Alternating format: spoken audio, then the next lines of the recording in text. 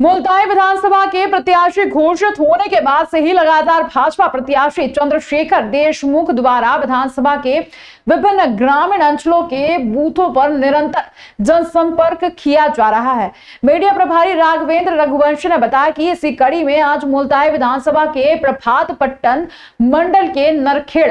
सोमगढ़, लाहाटी, बिरोली, झिल्पा, बोरगांव, शेरगढ़ पर जनसंपर्क के दौरान मिल रहा भारी जन समर्थन इस दौरान भाजपा विधायक प्रत्याशी चंद्रशेखर देशमुख, पूर्व जनपद पंचायत सदस्य हरिराम नागले, मंडल अध्यक्ष राजेश सोनगरे, सोशल मीडिया विधानसभा प्रभारी पुरुषोत्तम चौधरी, मंडल महामंत्री अमर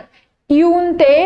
ओबीसी मोर्चा अध्यक्ष नीलेष भोपते अनुसूचित जनजाति मोर्चा अध्यक्ष प्रवीण परते, डॉक्टर नारायण राव वंजरे और सभी बूथ अध्यक्षों सहित सभी बूथ पर भाजपा कार्यकर्ताओं की एवं भारी संख्या में ग्रामीण जनता, जिनमें मातृशक्ति विशेषकर उपस्थित रही।